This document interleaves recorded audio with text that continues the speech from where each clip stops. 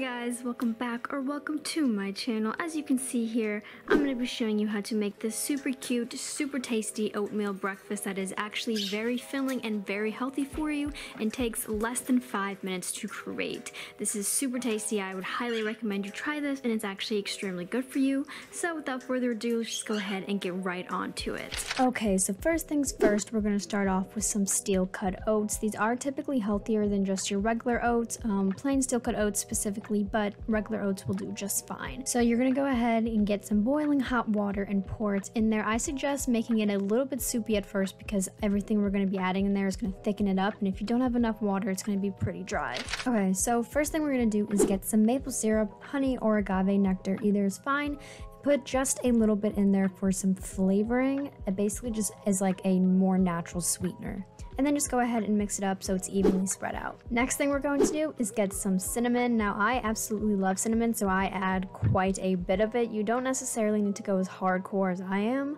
but whatever suits your fancy is going to be just fine. But cinnamon and maple syrup makes a very good flavor combination, let me tell you. So after we're done mixing that up, we're going to go ahead and add some milk. This just helps to make the cinnamon slightly less spicy and also adds more liquid so this is easier to mix around and doesn't get too thick.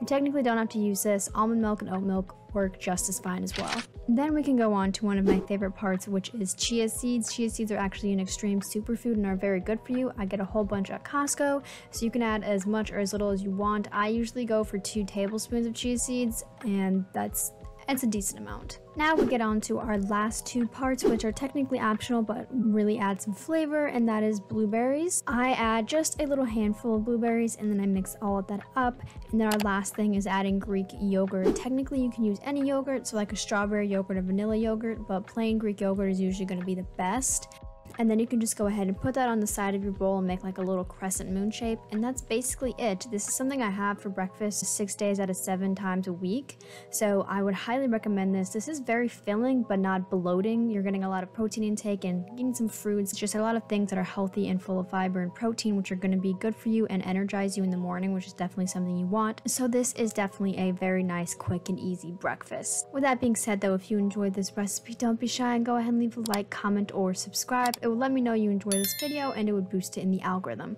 Thank you so much for watching though, and until next time, have a beautiful day.